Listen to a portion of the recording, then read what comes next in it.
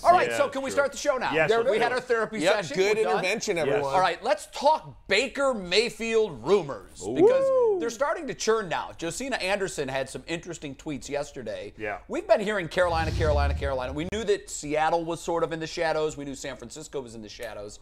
But JoJo says, I'm told the Seahawks still have a high level of interest in acquiring Baker Mayfield and behind the scenes are open to contractually extending him. That's interesting. This per a league source. I also know that the process of, and I found this funny, collecting information and insights into Mayfield is still ongoing. He's a complicated dude, and they're, they're, they're making sure that they're turning over every rock and every stone they can find out all there is to know about him. And then after we hear from the league on announcements, which we all know what she's talking about, that we're all waiting to learn, naturally Baker Mayfield's situation with the Browns, intentions for the season, and his desires will grow more into focus. And I'm wondering, that sounds like she got that from Baker's camp himself. Like we're not going to talk until until the league makes some sort of decision on Watson. So and then there's the San Francisco, not rumor, I, it's, it's really a report. Um, Jake Trotter from ESPN says that the Browns could be looking at a quarterback swap, and Jimmy G and San Francisco could be the partner. So, two things to react to there. What do we make of these reports? I mean, I'm taking them all with a grain of salt. Uh, Well, the Seattle one makes more sense to me than San Francisco.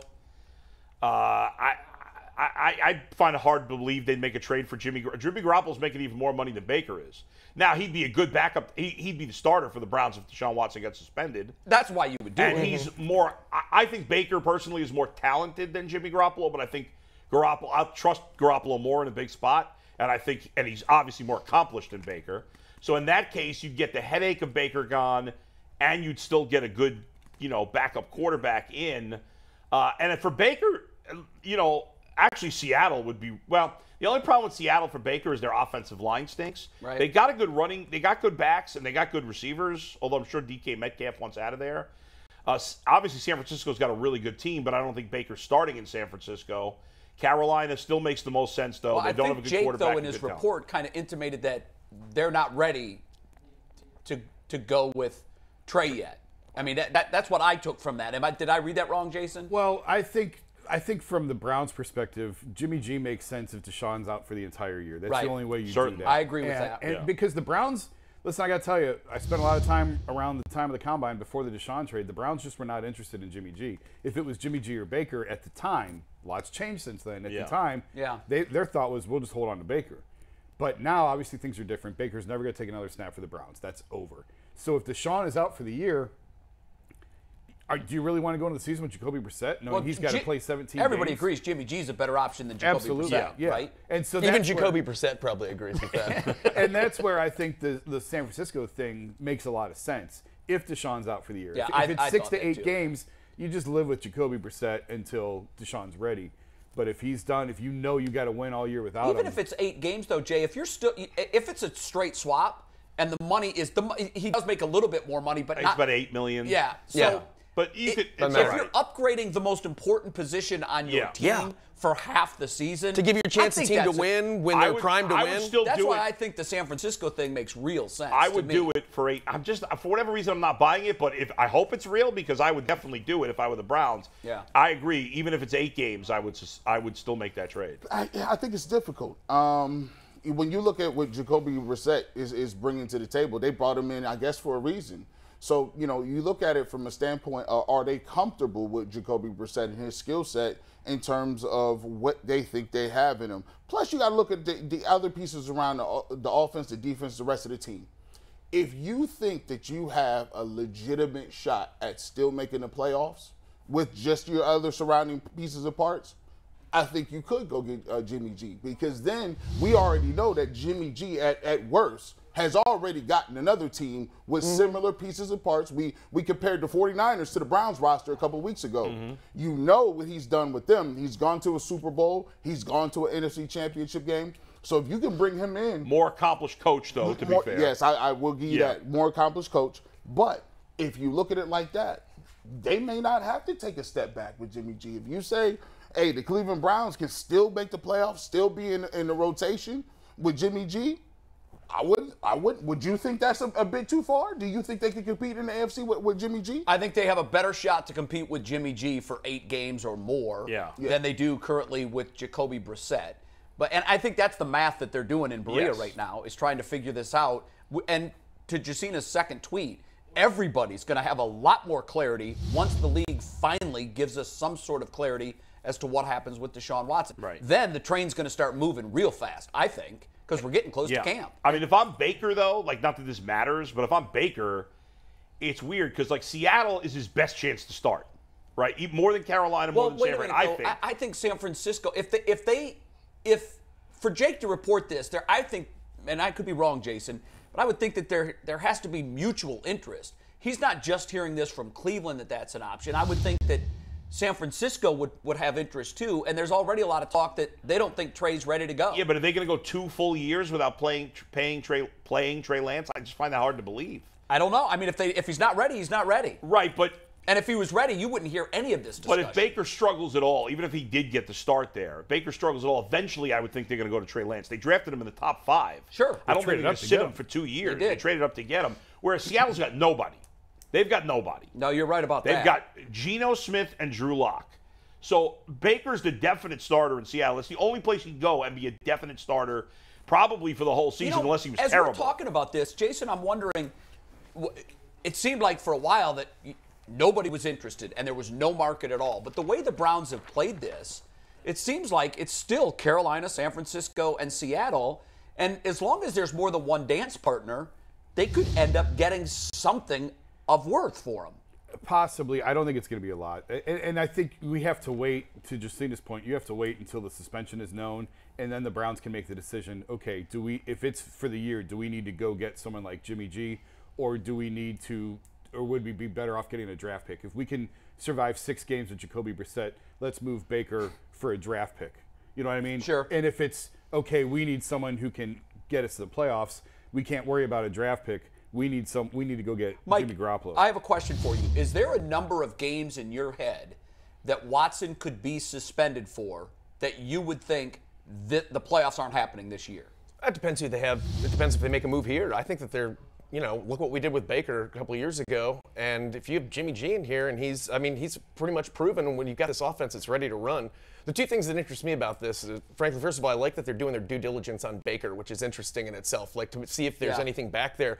But imagine how pleasant that investigation is compared to the people who have to do the Deshaun investigation, Yeah. where they're they're hearing horrid, horrifying, lurid details every day, and they're like, oh god. Wait until Whereas- they hear Baker said he wants to show up at someone's cubicle and boo his ass off. Right, and that's Oh, that's the, that's the bad thing is him like being like uh, throwing shade at Tony Grossi for asking him a tough question or something like that. Like that's the worst they're gonna find back there probably. Uh, so that's got to be pleasant in itself. But also the thing that I want to remind everybody of is how many people were just calling. A couple of months ago, just cut Baker. I was just one them. Cut him. I Just said, let's move get on him from out the of there. drama. And look at I was just like dead wrong. said, the closer we're getting to the season, and more people are freaking out when they're in camp and they see Wait who they've until there's got. an injury. Wait until there's an injury, or when they see how uh, you know this this quarterback's not working, this guy's not ready. I'm just glad that we didn't jump the gun because Yeah. now we're talking about you know actually getting something back. They're still not. I still don't buy they're going to get There's much. not a, some They're not, but they're not. Yeah. for But what if they can lose? Ha- what if they can not have to pay that entire salary? It just made yeah. business yes, sense for it, them. It never made sense to cut him. I agree. no, agree. so but I'm just glad that he's still here and we're still talking about it, and I still think that there's there could be some value there. Desperate times call for desperate measures. if Watson's suspended for the season, I think they have almost no chance of making the playoffs, no matter who the quarterback Really? is. Yes. for the season. Right. Yeah, I, I would I would buy that. Oh, I- yeah. I've been asking this question of a lot of folks, and some say eight games is their is their I- sort of I- mark. and if they if it's eight games with Garoppolo, I give them a shot. I still don't love their chances, even though I think Garoppolo's solid, only because the AFC is so good right now. Yes. If they were, if the Browns were in the NFC, eight games Garoppolo and then nine games Watson, Mm-hmm. Yeah, I'd say they have a good I- chance. sure. I, I, but I, I- I think it'd be at it- tough. I, I- I'd give him a chance with Garoppolo. I think there's this thing where Jimmy Garoppolo is, is just not good to some people, but I've seen Jimmy Garoppolo take and walk himself right into Lambeau Field and beat beat the guy. He The didn't do much in that game. Yeah, Hey, he did very little. hey, I mean, yeah. the defense scored a special team scored a touchdown. I, I mean, I mean, I could say the San same Francisco's thing. defense I could great. say the same thing about Baker. They had five turnovers. True, but we're not debating Baker versus But what, but what Jimmy I'm saying, Garoppolo. but what I'm saying, He did is enough to win. He he got the win. He's did. been he's been to a Super Bowl and an AF, NFC and to defend game. you, and it, it's a fair point. The Niners, it- everybody talks about their great coach. When they've had Garoppolo, they've been a winner. When they have not had Garoppolo with the co- same coach, Yeah. they haven't done any We've winning. also seen Garoppolo throw the mindless Terrible. pick I mean, in a huge spot because late in he's the game. not a great talent, but he's a you know good leader, and he has some of the had intangibles. moments. But who's better? Like Baker. Do we agree that Baker? Uh, that wh- who's better, Baker or I would still, and I st- stay to this, and I know it's not going to happen. I still think that if Watson gets a, suspend- a suspension for the season, their best chance is with Baker.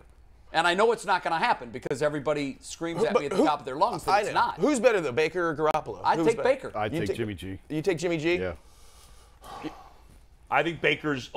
A- And talent, ta- talent, Tal- ta- yeah. talent-wise, Baker's better. Decision-making, Garoppolo. So here's the the question: Two years, two years ago, went to the playoffs with Baker, and was that team better or worse around around Baker then? At that point, were they than we are now? oh, it was worse. Worse. It was yeah, worse. but the AFC is much better. The and AFC's division's better, much but better. we also don't know. We don't know if uh, we don't know who's going to get hurt. We don't know what Pittsburgh's going to do. Yeah. We- The Baltimore ha- they have a tendency to get injured. You know, like yeah, we- but the argument all for kinds the of stuff Baker staking at the, staying at this point, I think the ship. I'm has not even sailed. saying that. Yeah, I'm yeah. just saying I, the idea They- of Jimmy coming in. Yes, and, for eight and games getting they'd have a shot. They'd have a shot. Yeah, They- I agree. Look at the first four games. I don't see no. To me, I don't see any L's the first four games. Maybe Pittsburgh. I- Somebody does- could sneak in there. does does never know. anybody see that? Yeah, something's going to happen. Yeah. I, I it's mean, the Browns. I, I, but you got at some point. At some point, the rest of the roster has Yeah, to be. they should go three and one minimum in those four games, no one matter who the quarterback Isn't there some is. horrifying statistic in our uh, opening game? How many? They haven't won an opening game never in like won, they- 17 We haven't won an opening game in Yeah. like so.